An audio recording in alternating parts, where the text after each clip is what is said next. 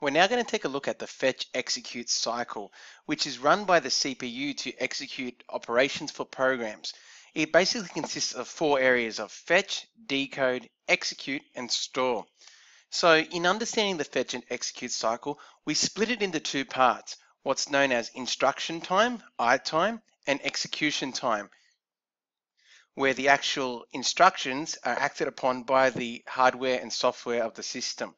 So firstly, we'll have a bit of an example of what that is. So I time, okay, where instructions are received from memory and decoded by the CPU.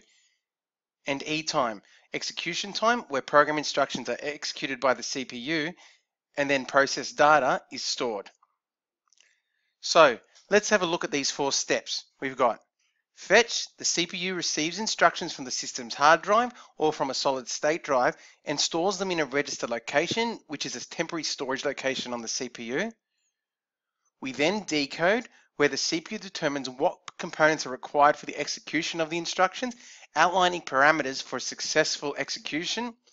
Then we have the actual execute, where the CPU gives the specific actions to the specific components in order to carry out the initial program instructions processing the actual data, and then store, okay, where we actually get the newly processed data now and store it back in the hard disk or solid state drive. So let's look at this graphically. We start off with our I time, our instruction time, okay, which is basically getting the data from memory, okay, and decoding it. So we fetch, okay, and get the data.